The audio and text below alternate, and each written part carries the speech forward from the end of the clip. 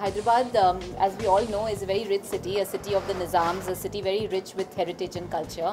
And um, they've come up with this idea of doing a bridal week, uh, which I think is so apt. Uh, seeing the rich culture of Hyderabad, it is so apt. मुझे तो बहुत अच्छा लगता है आई तो always I am ready to experiment with looks और specially Indian तो मुझे बहुत पसंद है। My collection should be inspire by something which is connected to Hyderabad so I मेरे collection which is inspire by the jewels of the Nizams जब मैंने ये पहली बार देखा ये outfit I was in love I said wow this is be a bride और जो ये पहनेंगे तो बहुत ही खूबसूरत लगेंगे. This piece is also inspire by the jewels of the Nizam and the blue and the green in that use in all the jewels but this is a different uh, photo shoot altogether. This is not for some portfolio. This is to showcase something we be showcasing next week Shruti उसको जो भी पहनाओ वो उसमें बहुत ही खूबसूरत लगती है और उसको बहुत अच्छी तरह से कैरी करती है। और मुझे लगता है गीता का फेस बहुत ही इंडियन फेस है। um, और uh, बहुत अच्छी फोटोग्राफ्स भी क्लिक करती है उसकी कॉम्प्लेक्शन उसके features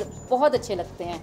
Whenever I have it's always with Archana with her show shows in fashion shows I do the showstoppers in whatever I did an album actually with Rahat Fateh Ali Khan and Sukshinder Shinda वो भी पूरा getup Indian था जहाँ अर्चना ने मेरे outfits design किए थे। इस तरह की एम्ब्रॉयडरी में करीबन दो महीने लगे थे।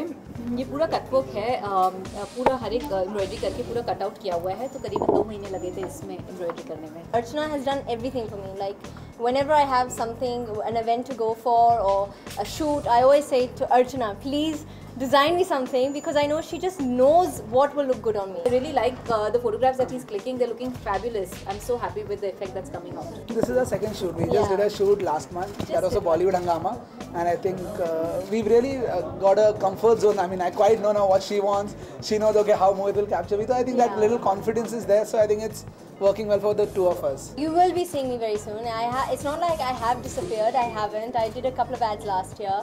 Um, मेरी album भी release हुई थी जहाँ we just won the best UK Music Asian Awards uh, video.